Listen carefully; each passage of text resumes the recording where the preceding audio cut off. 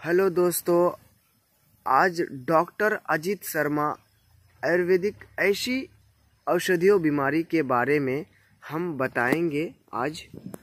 दोस्तों, आपको ध्यान से वीडियो को देखना है और बात किन प्रकार से हम बता रहे हैं दोस्तों किन किन चीज़ों के बारे में आपको ध्यान से सुनना है। तो दोस्तों अक्सर मुँह में जो दाग, धब्बे, पीपल, झुलना, चेहरे पे छाँवपन, ये सब जो है, कितनी से कितनी पुराना हो, आप पहले तो डॉक्टर आयुर्वेदिक के सलाह नहीं लिए होंगे दोस्तों। ये डॉक्टर अजित शर्मा आज आप लोग को ऐसी तरकीब और ऐसी नुस्खे के बारे में आज बताएँगे दोस्तों। आप सुनकर हैरान हो जाएँगे और ये कहेंगे कि आपका दाग धब्बे झुलना, चेहरे पे छाँवपन, चेहरे की चमक किस प्रकार से फिर हम वापस लेकर आए। तो दोस्तों, हम यही कहेंगे कि आपने दाग धब्बे होने पर कितनी प्रकार की क्रीम यूज़ किए हैं, शायद आप जानते हैं, लेकिन आज हम जिन चीज़ों के बारे में, जिन आयुर्वेदिक नुस्खे के बारे में हम बताएँगे, आप हैरान हो जाएँगे। और ये औषधियों ये औषधियों पाए जाने वाले पौधे हैं, जि, जिन पौधे के नाम पपीते के पत्ते से भरपूर मात्रे पे गुण पाए जाते हैं। जैसे आपके मुँह में झुलना, दाग धब्बे, यानी कि दाग पहले पीपल सब निकले थे, आपके पीपल सब ख़त्म हो गए, लेकिन उनके बाद जो दाग हो गए हैं उस जगह पे, उस दाग को मिटाना, चेहरे पे छाँवपन, चेहरे का चमक वापस लेके आना, आज हम इन सब इन सब चेहरे को पीपल दूर करने के लिए आज हम ऐसी नुस्खा बताएँगे। तो हम लोग क्या करते हैं? अक्सर आयुर्वेदिक डॉक्टर से सलाह लेते हैं कि आपको अगर किसी तरीके से, जैसे अंग्रेज़ी हर क्रीम आप यूज़ करके देखे हैं, कितनी मात्रा में कौन सी क्रीम आपको हेल्प दिया, निजात दिया, आप जानते हैं। लेकिन हम इतने बताएँगे कि आप, ये आयुर्वेदिक नुस्खा है, आप एक बार इन नुस्खे को ज़रूर ट्राई करें, क्योंकि ये आयुर्वेदिक नुस्खा है। औषधियों से ये गुणों में भरपूर मात्रे में पाए जाते हैं। ये पपीते के पत्ते।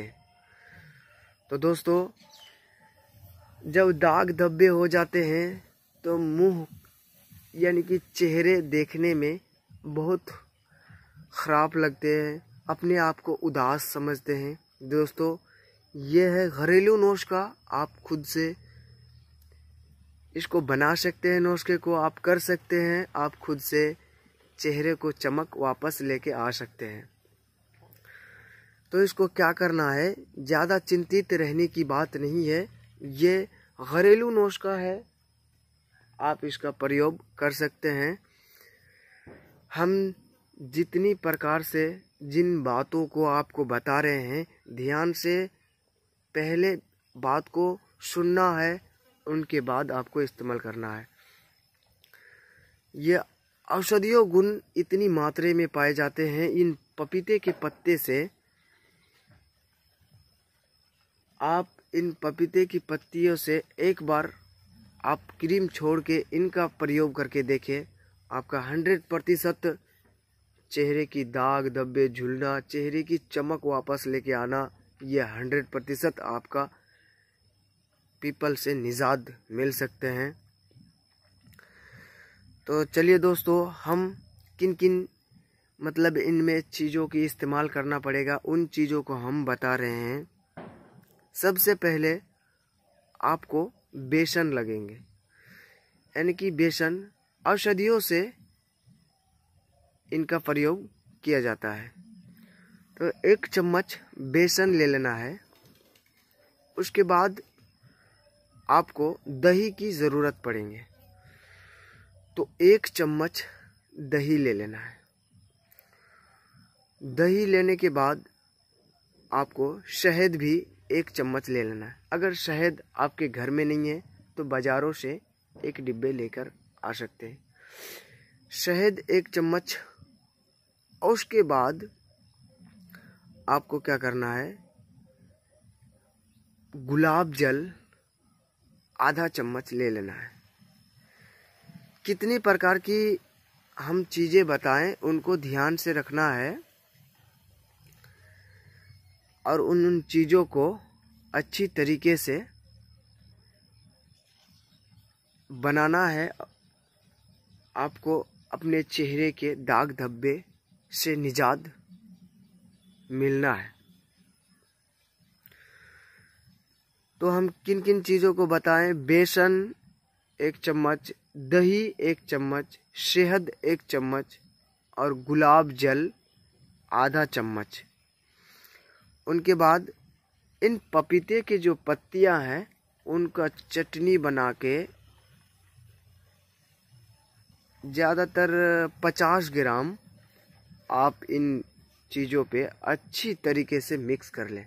लेकिन ध्यान रहे, आप सोचेंगे क्या कि हम इन चटनियों को अगर ज़्यादा से ज़्यादा इस्तेमाल करेंगे चेहरे पर तो हमारे जल्दबाजी में ख़त्म हो जाएँगे। अपने अपने आपस में भूल मत करना दोस्तों।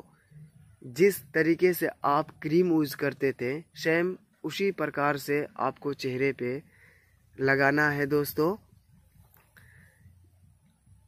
जा, जितने प्रकार से हम बताएँ, उतने प्रकार को दो टाइम यानी कि एक बार शाम को और एक बार सुबह इनका प्रयोग करना है।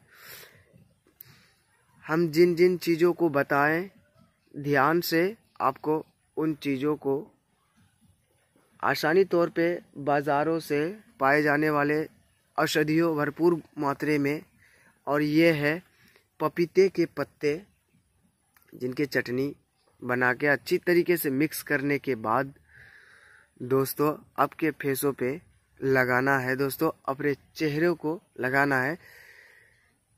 आप तीन से चार दिन तक इनका प्रयोग करें।